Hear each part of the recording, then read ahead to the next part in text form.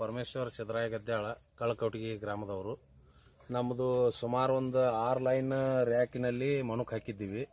ನಿನ್ನೆ ಮಳೆ ಬಂದಿದ್ದರಿಂದ ಈ ಥರ ಮಣುಕ್ ಕರಗಾಗಿದೆ. ಇದರಿಂದ ಮೊದಲೇ ರೇಟು ಎಂಬತ್ತರಿಂದ ನೂರ ಮೂವತ್ತು ರೂಪಾಯಿ ರೇಟ್ ಇದೆ. ಈ ಥರ ಹೋದ್ರೆ ಮತ್ತೆ ನಮಗೆ ಎಪ್ಪತ್ತು ರೂಪಾಯಿ, ಎಂಬತ್ತು ರೂಪಾಯಿ ರೇಟ್ ಸಿಗುತ್ತೆ. ಹೋದ ಸಲ ಸ್ವಲ್ಪ ಅವಾಗೂ ಮಳೆ ಬಂದು ಲಾಸ್ ಆಗಿತ್ತು. ಮತ್ತು ಅಕ್ಟೋಬರ್ ಚಾಟ್ನಿಯಲ್ಲಿ ಮಳೆ ಬಂದು ಲಾಸ್ ಆಗಿದೆ. ಈಗ ಇನ್ನೂ ಕಾಯಿ ಪ್ಲಾಟಲ್ಲಿ ಕಾಯಿ ಇದೆ. ಅದು ಶುಗರ್ ಮೈನಸ್ ಆತೈತಿ. ಇದು ಮಾರ್ಕೆಟ್ಗೆ ಹೋಗಿದ್ರೆ ಯಾರು ನಮ್ಮ ಎಪ್ಪತ್ತು ಎಂಬತ್ತು ರೂಪಾಯಿ ಕೇಳಂಗಿಲ್ಲ. ಬಾ, ಔಷಧ ರೇಟು ಜಂಪ್ ಇದೆ.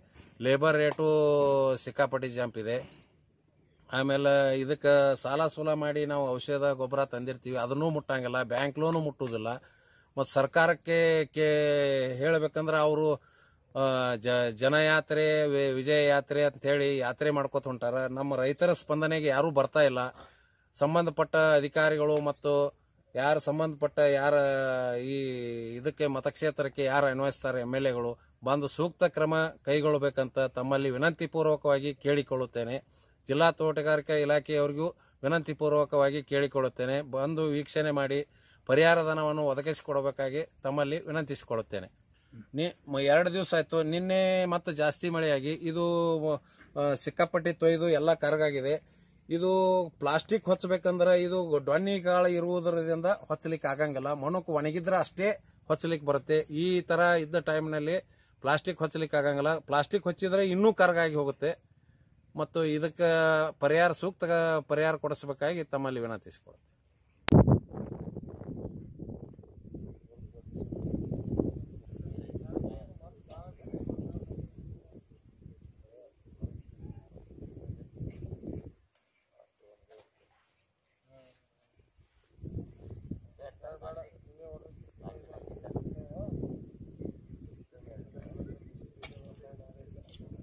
ನಾನು ಬಿಜಾಪುರ ಜಿಲ್ಲಾ ದ್ರಾಕ್ಷಿ ಬೆಳೆಗಾರ ಸಂಘದ ಅಧ್ಯಕ್ಷ ಪೀರ್ಗೊಂಡ್ ಗದ್ದಾಳ್ ಅಂತ. ನಮ್ಮ ಜಿಲ್ಲೆಯಲ್ಲಿ ಈ ಅಕಾಲಿಕ ಮಳೆಯಿಂದ ಭಾಳಷ್ಟು ದ್ರಾಕ್ಷಿ ನಷ್ಟ ಉಂಟಾಗೈತಿ ಈಗ ಸಾಕಷ್ಟು ಈಗ ಬೆಳೆ ಬರುವಂಥ ಸಮಯದೊಳಗೆ ಎಲ್ಲರೂ ದ್ರಾಕ್ಷಿ ಮಣುಕ್ ಮಾಡುವಂಥ ತಮ್ಮ ಉದ್ಯೋಗದಲ್ಲಿ ಎಲ್ಲರೂ ತಮ್ಮ ತಮ್ಮ ಕೆಲಸದಲ್ಲಿ ಅವರು ತೊಳ್ಕೊಂಡಿದ್ರು. ಒಂದು ಅಕಾಲಿಕ ಮಳೆಯಿಂದ ಇದು ನಡಬಾರ್ಕ್ ಬರೋದ್ರಿಂದ ಸಹ ಈ ದ್ರಾಕ್ಷಿ ಬೆಳೆಯೊಳಗೆ ಏನು ಇರ್ತೈತಿಲ್ಲ, ಅದು ಮೈನಸ್ ಆಗ್ತತಿ. ಮತ್ತು ಈ ನೈಂಟಿ ಪರ್ಸೆಂಟ್ ಇವು ಏನಾಗೈತಿ ದ್ರಾಕ್ಷಿ ಶೆಡ್ನಲ್ಲಿ ಇರುವಂಥದ್ದು ಎಲ್ಲ ತೊಯ್ದು ಅದು ಕಪ್ಪಾಗಿ ಹೋಗ್ತತಿ. ಈಗ ಆಗೋದರಿಂದ ಮೊದಲೇ ರೇಟ್ ಇಲ್ಲ. ಪ್ರತಿ ವರ್ಷ ಏನಾದರೂ ಮಾಡಿಕೆರಿಂದ ತಗೊಂಡವ್ರ ಸಾಲ ತೀರಿಸುವಂಥ ಒಂದು ಶಕ್ತಿ ಇರ್ತಿತ್ತು ರೈತರಲ್ಲಿ. ಈ ವರ್ಷ ಸಂಪೂರ್ಣವಾಗಿ ರೇಟರೇ ನೂರ ಮೂವತ್ತು, ನಲವತ್ತು ಈ ಥರದ ರೇಟ್ ಐತಿ. ಮಿನಿಮಮ್ ನೂರ ಎಂಬತ್ತರಿಂದ ಎರಡು ನೂರು ರೂಪಾಯಿ ನಾವು ಮಿನಿಮಮ್ ಇದನ್ನ ರೇಟ್ ಮಾಡಬೇಕು, ಬೆಂಬಲ ಬೆಲೆ ಮಾಡ್ಬೇಕಂತೇಳಿ ಸರ್ಕಾರದೊಳಗೆ ಸಾಕಷ್ಟು ಸಲ ನಾವು ಇದನ್ನು ವಿನಂತಿ ಮಾಡ್ಕೊಂಡ್ರು ಸರ್ಕಾರ ಈ ಗಮನ ತಗೊಳ್ಳಿಲ್ಲ. ಸುಮಾರು ಈ ದ್ರಾಕ್ಷಿ ಹೆಂಗಪ್ಪ ಆತಂದ್ರೆ ಎರಡು ನೂರದಿಂದ ಎರಡೂವರೆ ಎರಡು ನೂರದಿಂದ ಎರಡೂವರೆ ನೂರ ತಕ ಇದು ರೇಟ್ ಮಾರ್ತಪ್ಪ ಅಂತಂದ್ರೆ ದ್ರಾಕ್ಷಿ ಅವ್ರಿಗೆ ಏನಾದರೂ ತಗೊಂಡು ಸಾಲನ ಹಾಳಿ ತೀರಿಸುವುದು ತಮಗಾದ್ರೂ ಒಂದು ನಾಲ್ಕು ದುಡ್ಡು ಉಳಿಯುವಂಥ ಒಂದು ಇದರಾಗ ಇರ್ತತಿ.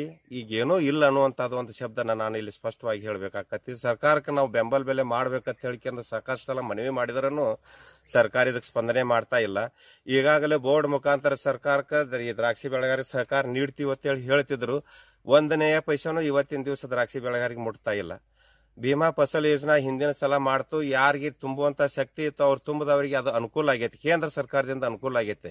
ರಾಜ್ಯ ಸರ್ಕಾರದಿಂದ ಮಾತ್ರ ಇವತ್ತಿನ ತನಕ ಯಾರಿಗೂ ಒಂದು ರೂಪಾಯಿನೂ ಇಲ್ಲಿ ಉಪಯೋಗ ಆಗಿಲ್ಲ. ಬೋರ್ಡ್ ಮುಖಾಂತರ ಅಂತ ಹೇಳ್ಕೊಂಡು ನಾನು ಈ ಸಂದರ್ಭದಲ್ಲಿ ಹೇಳಕ್ ಬಯಸ್ತೀನಿ.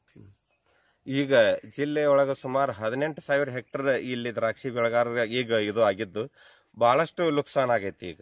ಈ ಮಳೆ ಆಗೋದ್ರಿಂದ ಅಂದ್ರೆ ಈಗೇನ್ ಬೆಳಿ ಐತಿಲ್ಲ, ಈ ಬೆಳಿ ಇದ್ರೊಳಗೆ ಶುಗರ್ ಏನು ಬಂದಿರ್ತೈತಲ್ಲ ಶುಗರ್ ಕಂಟೆಂಟ್ಸ್ ಸಂಪೂರ್ಣವಾಗಿ ಮೈನಸ್ ಆಗಿ ಹೋಗ್ತತಿ. ಹಿಂದಿನ ಸಲಾನು ಇದೇ ರೀತಿ ಹಾಕಿಕೆರಿಂದ ಮೈನಸ್ ಆಗೋದ್ರಿಂದ ಎಲ್ಲ ರೈತರು ಇದ್ದದ ದ್ರಾಕ್ಷಿ ಬೆಳೆ ಮೇಲೆ ಆ ಗೊನೆ ಬಂಚನ ಕಟ್ ಮಾಡಿ ಅಲ್ಲೇ ತಳಗ ಹೋಗೋದು ಬಿಟ್ರು. ಅಂದ್ರೆ ಒಂದು ರೂಪಾಯಿನೂ ಅದ್ರೊಳಗೆ ಮಾಡಿದ ಖರ್ಚು ಅಂದ್ರೆ ಒಂದು ರೂಪಾಯಿನೂ ಅದಕ್ಕೆ ಫೈದೆ ಆಗಲಿಲ್ಲ. ಮತ್ತು ಹೊಳ್ಳಿ ಒಂದು ವರ್ಷ ತಕ್ಕನೂ ಇದ್ರ ಖರ್ಚು ಮಾಡುವಂಥದ್ದು ಒಂದು ಸ್ಥಿತಿ ಬಂದತ್ತಿ ಪರಿಸ್ಥಿತಿ ದ್ರಾಕ್ಷಿ ಬೆಳೆಗಾರಿಗೆ ಬಹಳಷ್ಟು ಕಷ್ಟ ಆಗೈತಿ. ಹೆಸರು. ನನ್ನ ಹೆಸರು ಪೀರ್ಗೊಂಡ್ ಮಲ್ಕಪ್ಪ ಗದ್ದಾಳ ನಾನು ಜ ಬಿಜಾಪುರ ಜಿಲ್ಲಾ ದ್ರಾಕ್ಷಿ ಬೆಳೆಗಾರ ಸಂಘದ ಅಧ್ಯಕ್ಷ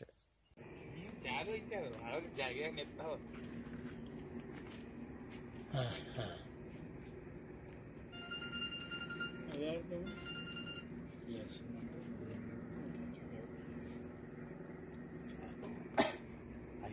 ಅರ್ಧ ಮಳೆ ಆಗ್ಬೇಕು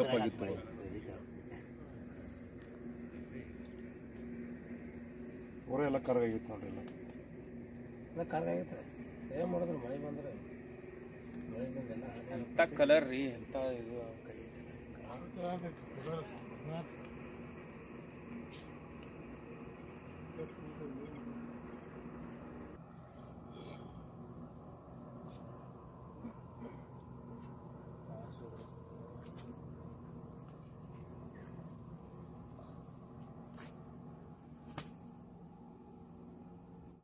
ನಾವು ಕಳಕೌಟಿ ಗ್ರಾಮದ ಪರಮೇಶ್ವರ ಸಿದ್ದರಾಯ ಗದ್ದಾಳ್ ರೈತರು. ನಮ್ಮ ನಿನ್ನೆ ಅಕಾಲಿಕ ಮಳೆಯಿಂದ ಬಂದಿದ್ದರಿಂದ ನಮ್ಮ ದ್ರಾಕ್ಷಿ ತೋಟದಲ್ಲಿ ಇನ್ನೂ ಒಂದು ಮೂರು ಎಕರೆಗಟ್ಟು ದ್ರಾಕ್ಷಿ ಇರುತ್ತದೆ. ಅದು ಎಲ್ಲ ಶುಗರ್ ಮೈನಸ್ ಆಗಿ ಮಳೆ ಬರೋದ್ರಿಂದ ಶುಗರ್ ಮೈನಸ್ ಆಗಿ ಪೂರ ಲಾಸ್ ಆಗಿದೆ. ಮತ್ತು ಮಣುಕ್ ಶೆಡ್ಡಲ್ಲಿ ನೈಂಟಿ ಪರ್ಸೆಂಟ್ ಮಣುಕೆಲ್ಲ ಮಣುಕ್ ಶೆಡ್ಡಲ್ಲಿ ಲಾಸ್ ಆಗಿದೆ. ಅದನ್ನು ಸೂಕ್ತ ಕ್ರಮ ತೆಗೆದುಕೊಳ್ಳಬೇಕಂತ ಸಂಬಂಧಪಟ್ಟ ಅಧಿಕಾರಿಗಳಿಗೆ ಈ ಮುಖಾಂತರ ನಾವು ಹೇಳಲು ಇಚ್ಛೆ ಪಡುತ್ತೇವೆ.